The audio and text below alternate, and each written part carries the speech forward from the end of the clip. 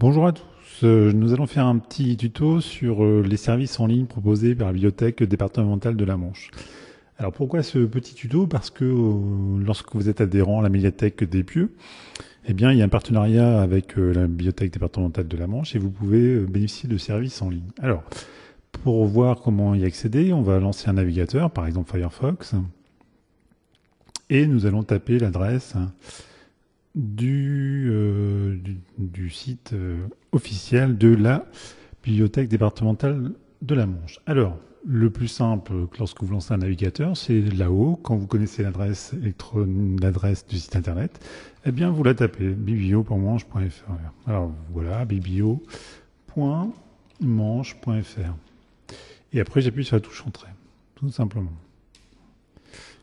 Voilà, ça c'est la façon en tapant l'adresse euh, directement dans la, barre d'adresse là-haut.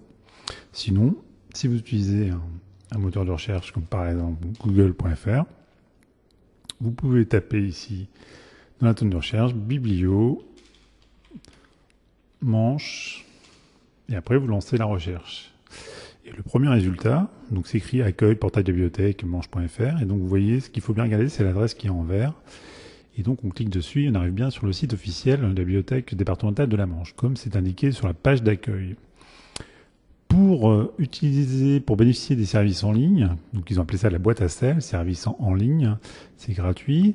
Eh bien, il faut d'abord s'inscrire. Alors, ici en haut à gauche, c'est écrit connexion et il faut s'inscrire au service en ligne. Alors, je clique dessus et je vais pouvoir rentrer mes informations. On va dire que je m'appelle euh, Geek, que je m'appelle Jeanne et que mon adresse électronique euh, c'est celle-ci.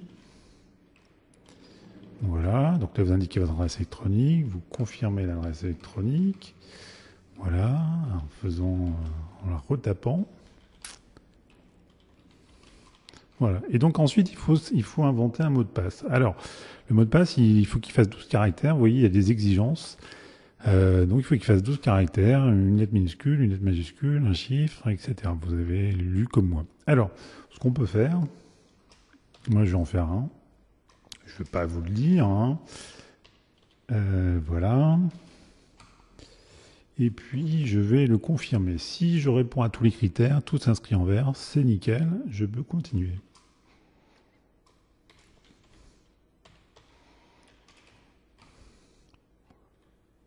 Hop, hop, voilà. J'indique ma date de naissance. Alors moi je suis né le 3 euh, mars. euh, on va dire que je suis né. Alors là vous mettez vos vraies informations, hein, parce que ça ce sont des informations qui vont être validées par euh, la bibliothèque dont vous dépendez. Hein, bibliothèque, euh, donc pour les gens qui avaient la bibliothèque euh, des Pieux, par mes collègues des Pieux. Alors on va dire que je suis né en 1996 à me. Et donc je mets que je suis né euh, au Pieux, votre ville des Pieux, et je suis inscrit dans la bibliothèque des Pieux. Voilà. Ok, donc ça, ça va permettre de valider. Vous, vous indiquez quel, quel service vous voulez vous inscrire, et ensuite, pour, euh, vous pouvez aussi dire je ne suis pas un, robot, et indiquer les bornes d'incendie. Donc il suffit cliquer dessus. Voilà, là, j'ai trois bornes d'incendie, et ensuite je valide. Donc ça, c'est un moyen hein, que vous rencontrez souvent pour éviter euh, que des, des formulaires automatiques qui soient lancés par des robots. Euh, et on s'inscrit, voilà. Donc, si je m'inscris ici, vous voyez, c'est en train de charger, mes inscriptions en ligne, votre inscription a été enregistrée, votre bibliothèque va confirmer votre inscription très prochainement. Donc là, vous allez recevoir un courrier électronique lorsque votre euh, bibliothèque aura validé votre inscription. Voilà pour la première partie.